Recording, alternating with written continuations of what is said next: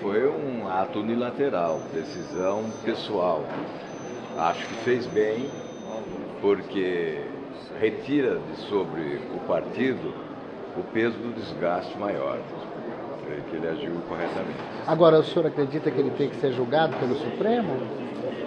Sim, tem que ser julgado. Eu acho que nós temos que agir com coerência. É, em que pese o fato de estar sendo julgado por algo que ocorreu há 15 anos. É muito tempo. Ocorreu na campanha eleitoral de 98 e só retiraram esse esqueleto do armário quando o PT se viu acossado pela denúncia do mensalão. O PSDB vai defender o deputado Azeredo? É, eu creio que não. Eu creio que cabe à, à justiça julgar e a nós respeitar a decisão da justiça.